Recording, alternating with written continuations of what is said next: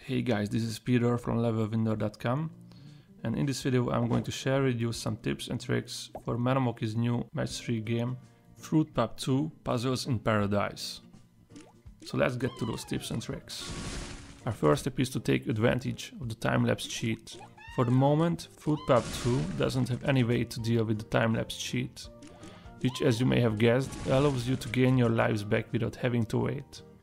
When you lose a level, you lose one life, and one life is equivalent to 30 minutes waiting time. You will normally have to spend gems in order to get those lives back without having to wait, but you can shift the time forward in increments of 30 minutes, depending on how many lives you want back.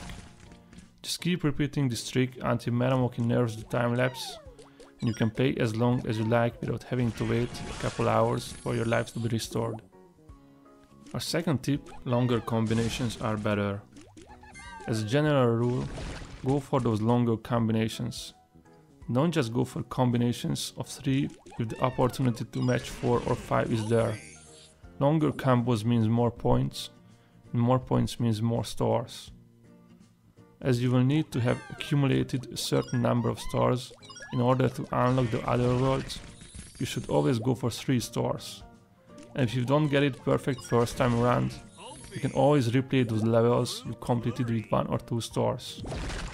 Work from the bottom going up. Another general rule of match 3 gaming is to make your matches from the bottom and that too applies in here.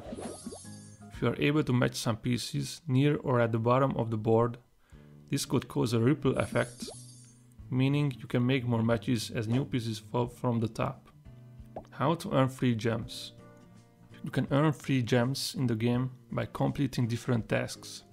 But if you want to get free gems right off the bat, you can simply connect your game to Facebook. That's going to give you 40 gems right away. Lastly, you can watch advertisement videos by going to the main map and tapping on the film-like icon. Watching ad videos will earn you only 1 gem per video, but this can add up as long as Fruit Pop 2 has some videos to serve up for you. And this wraps up our list of tips and tricks for Fruit Pop 2.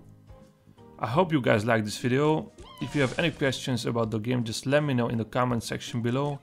Also please subscribe to our channel and check out our official website levelwinner.com where you can find even more tips and tricks for mobile games. Cheers!